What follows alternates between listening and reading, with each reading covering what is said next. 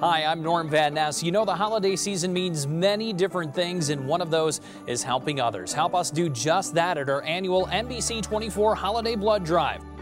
On December 23rd at the Hilton Garden Inn at Levis Commons, NBC 24 and the American Red Cross will team up for our seventh annual Holiday Blood Drive. Help give the perfect gift that everyone wants but money can't buy. To be a part of this year's drive, call the American Red Cross or visit NBC24.com to schedule your appointment.